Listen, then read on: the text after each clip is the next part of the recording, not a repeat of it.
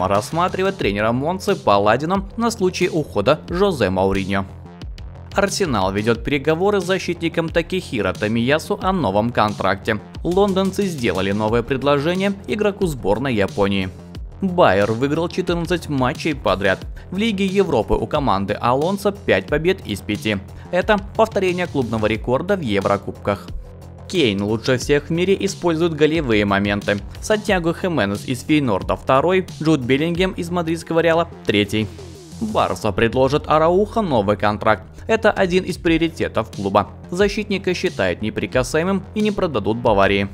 У Миранчука нет результативных действий в 7 матчах за Аталанту в этом сезоне. Хавбек провел на поле 216 минут и лишь один раз вышел в старте. Беллингему, вероятно, потребуется операция на плече, и он пропустит не менее двух месяцев, но она не срочная. Силва – лучший трансфер Манчестер Сити по версии 4-4-2. Агуэра третий, Холланд на десятом месте.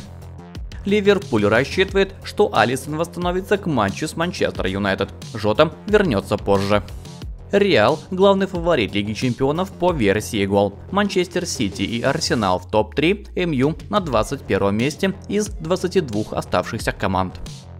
Тенхак, Хау и Раола и Эдвардс из Лутона – претенденты на приз лучшему тренеру ноября в английской премьер-лиге. Магуайр, Стерлинг и Доку среди претендентов на приз лучшему игроку в английской премьер-лиге в ноябре. Роналду лучший игрок в истории Реала по версии 4-4-2. Де Стефано, Зидан, Рамос, Касильес в топ-5. Рауль 7, Модрич 11, Бензема 13. Россия поднялась с 39 на 38 место в рейтинге FIFA. Аргентина 1, Англия 3, на втором месте Франция. Бразилия выпала из топ-3. Мадридский Реал пока не определился с главным тренером на следующий сезон. Клуб до сих пор не принял окончательного решения относительно будущего нынешнего наставника команды Карла Анчелотти. Вчера завершились поединки пятого тура группового раунда Лиги Европы. По итогам этих матчей определились 14 участников стадии плей-офф второго по значимости Еврокубка. Английский Брайтон впервые в клубной истории пробился в плей-офф европейского клубного турнира.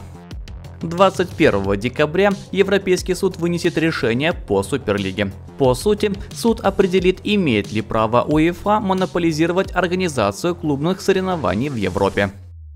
Объявлены имена претендентов на звание лучшего игрока недели по итогам матчей пятого тура групповой стадии Лиги Европы. Манчестер Юнайтед не сможет подписать центр бэка Кристал Пэлас Марка Гейхи в зимнее трансферное окно.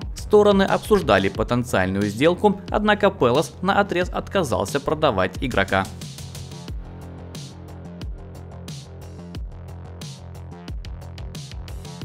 Барселона надеется еще раз арендовать Жао Канцело, но с обязательным выкупом. По данным Диарио Спорт, каталонцы хотели бы оставить португальцам, принадлежащего Манчестер Сити, еще на год, а затем приобрести его летом 2025 -го. Проблема заключается в том, что стороны по-разному оценивают возможный трансфер. Барселона надеется заплатить 30 миллионов евро, а горожане считают, что защитник стоит 50. Причем по окончании сезона эта сумма может вырасти, если Канцелу продолжит успешно выступать в Ла Лиге. Манчестер Сити знает, что летом на футболиста будет спрос.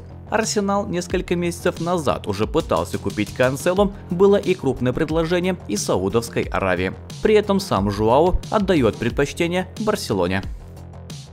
Андре Онана опасается, что участие в Кубке Африки повлияет на его роль в Манчестер Юнайтед. По данным Манчестер Evening News, голкипер считает, что выступление за Камерун на турнире сборных зимой может привести к тому, что он потеряет статус основного голкипера в Манчестер Юнайтед.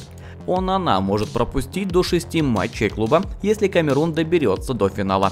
Играть в таком случае будет Алтай Байэндер, и Камерунец считает, что рискует лишиться места в стартовом составе.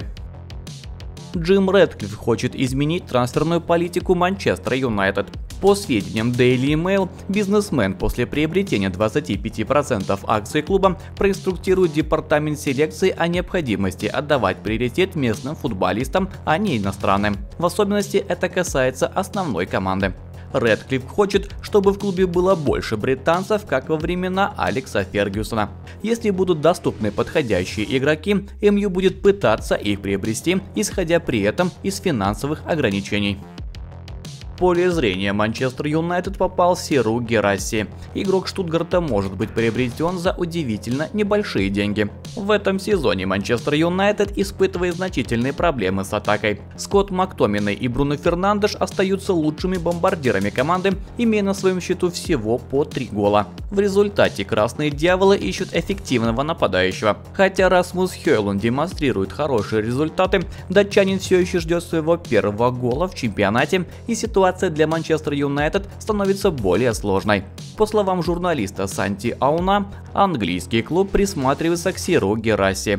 Открытие нынешнего сезона Бундеслиги может уйти всего лишь за 17,5 миллионов евро. Это обусловлено трансферной оговоркой в его нынешнем контракте со Штутгартом. На данный момент на счету 27-летнего футболиста 15 голов в 10 матчах. В то же время Манчестер Юнайтед знает, что борьба за гвинейца будет не самой легкой. Представители Милана, Ромы и Ньюкасла также намерены провести переговоры. Дело о финансовых нарушениях Манчестер Сити рассмотрит ближе к концу 2024 -го. Феврале АПЛ обвинила Ман-Сити в 115 различных нарушениях финансовых правил с сезона 2009-2010 по сезон 2017-2018. Расследование велось с декабря 2018 года. По информации Daily Mail, начать рассмотрение дела Манчестер Сити планируют позднее осенью следующего года. Вердикт будет вынесен не раньше лета 2025. На данный момент следствие находится на этапе сбора показаний свидетелей. Сити может грозить снятие очков. Ранее 10 очков сняли с Эвертона за нарушение финансовых правил лиги. Лас Пальмас получит от Барселоны бонус за Педри. В сентябре 2019 каталонский клуб объявил, что договорился с Лас Пальмасом о переходе полузащитника в июле 2020.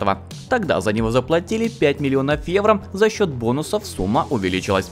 Педри целиком отыграл матч против Порту в Лиге Чемпионов. Это был сотый матч за Барселону, в котором он отыграл не менее 45 минут. Таким образом, был активирован последний пункт соглашения касательно бонусов. Барселона выплатит еще 5 миллионов евро за Педри. Общая сумма трансфера может составить от 18 до 25 миллионов евро. Теперь получить дополнительные средства от трансфера Педри Лас Пальма сможет только если Барселона решит продать полузащитника. В соглашении прописано, что в таком случае первый клуб испанцев получит 15% от суммы перепродажи. Ювентус надеется подписать полузащитника Дони Ван де Бека и вингера Джейдена Санча из Манчестер Юнайтед. Покупка Ван де Бека у Аякса за 40 миллионов фунтов в 2020 году стала большой трансферной неудачей для Юнайтед, потому что Дони так и не заиграл за красных дьяволов. Юнайтед не удалось избавиться от Дони Ван де Бека минувшим летом, когда переход Дони в Реал Соседат сорвался. Однако этой зимой у клуба с Олд Траффорд будет еще один шанс. Как сообщает Тим Талк, пригласить Ван де Бека хочет Ювентус. На данной стадии переход в аренду с обязательством выкупа выглядит наиболее вероятным сценарием для 26-летнего голландца. Также Ювентусу нужен Санчо, который уже почти три месяца изолирован от первой команды из-за ссоры с главным тренером Юнайтед Эриком Тенхагом случае Санчо Юнайтед предпочитает постоянный трансфер и в Турине надеется, что суммы в 30 миллионов фунтов будет достаточно для приобретения англичанина.